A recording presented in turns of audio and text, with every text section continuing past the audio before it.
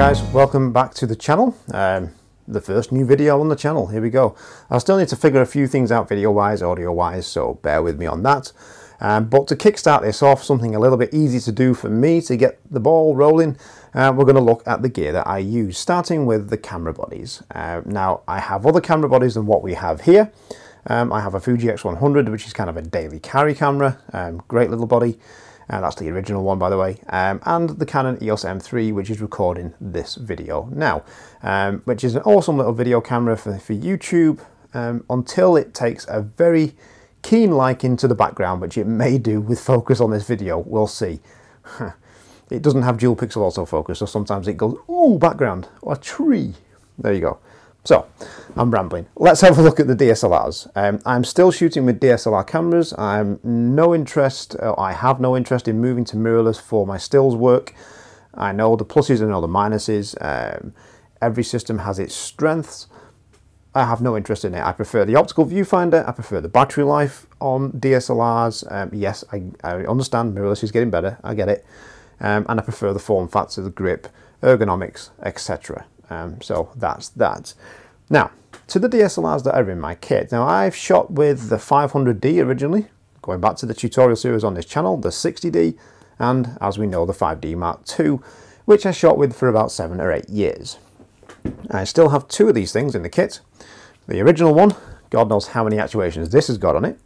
Um, still an amazing camera. I love the files out of these, uh, the cameras of this era, the 1DS Mark III. Um, there's something about the files from them that the others, the other cameras or the newer ones can't replicate, and it's the colours and tones that you get.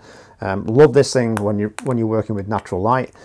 Um, so, not going to let these go very easily. Um, great camera. It's a workhorse. Um, 21 megapixels is plenty for a lot of work. Um, that being said, um, I've had three in the kit, sold one, still got two and the two that I have get used for behind the scenes time lapse for headshot work, portrait work where resolution isn't required, um, or higher resolution should I say, isn't required, and they'll get used for video as well. Now, I have upgraded um, last year, within the last year I think it was, was it last year? Yeah, at the photography show. I was working at the show with my friends from Pixapro, I was on their stand. The Canon stand was just a couple of ways down, um, and they mentioned they had a great um, what is it now? Uh, voucher offer. Anyway, a good offer on um, some Canon bodies, one of which was the 5D Mark IV. Uh, rebate, that's the word I was looking for, right. So, um, and here we have the 5D Mark IV. Great camera, great autofocus, really quick to use, much quicker than the 5D Mark II. Um, much better at tracking things that are moving, that's for sure. Uh, the main reason that I went for this, it wasn't really for the resolution at the time. Um, autofocus is a gain, but it was mainly the dual card slots um, on the body. It's nice to have that backup, especially when you're dealing with a one-time kind of shot, one-time kind of job. Weddings, for example, um, I shoot weddings, so it's nice to have the redundancy built into the camera. It's nice even when you're tethered to Lightroom to have the redundancy built in, um, although now I'm moving to Capture One, I have to problem solve that because it doesn't record to the camera that's another video. Um, but it's a great body. So it's brought with it better low light performance, better autofocus, dual card slots, obviously more resolution, which is nice, um, and better video. It's got autofocusing video, which is handy, dual pixel, which this M3 hasn't got. So sometimes it misses. And the other camera body, uh, more recent to the kit, is the Canon 5D SR. Now, I don't have a grip for this yet. I will get one because I cannot stand shooting like this drives me nuts. So I'll get a vertical grip at some point. Um, I looked at this thing for a long, long time, the 5DS, 5DSR. Now, preference for me would have been the 5DS. However, because I think that, geez, like these, all of these cameras are sharp enough, especially for portrait work. Like, come on. Um, but 5DSR. Now, this came to be in my bag or in the kit because a good friend of mine, how you doing, mate? That's Mark. Um, had all of his gear stolen. Now, he was a Fuji shooter, um, and he thought, okay, it sucks having your gear stolen, but I'll take this opportunity to switch back to a full frame system. So he went with Canon and the 5DSR. Big mistake. Um, he blames me partly for it. I did kind of suggest it anyway, um, but he went to Canon, decided no, I want to go back to Fuji, stick to what I know, and it was kind of a bit short uh, because of the valuation on the insurance on the gear that was stolen. So in comes me, and I buy this off him for a great price. Um, it was part kit into the business because it offered resolution um, for commercial work. Part, it was my birthday, screw it, I'm helping a friend out, get back to Fuji. Okay, I'm buying it, done.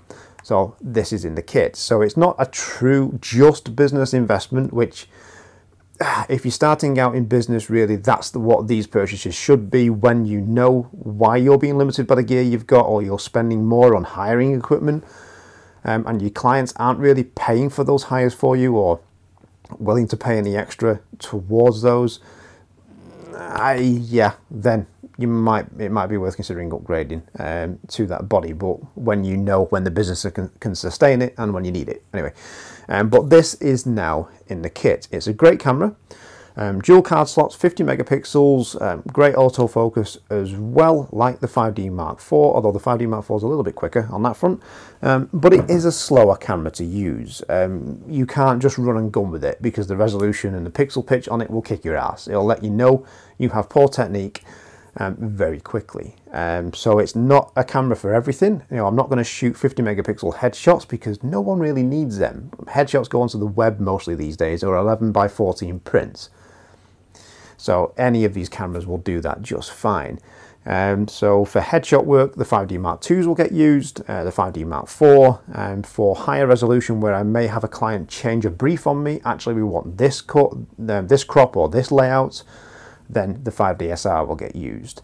Um, so it's certainly nice to have in the kit. So all of these cameras have their place. Um, a lot of work I can shoot with any one of them and it doesn't matter until someone then starts to ask for certain things like shooting motion, tracking motion, or shooting something where we're going to need to crop for a different layout, then the high resolution bodies will come into play. The 5D Mark IIs won't.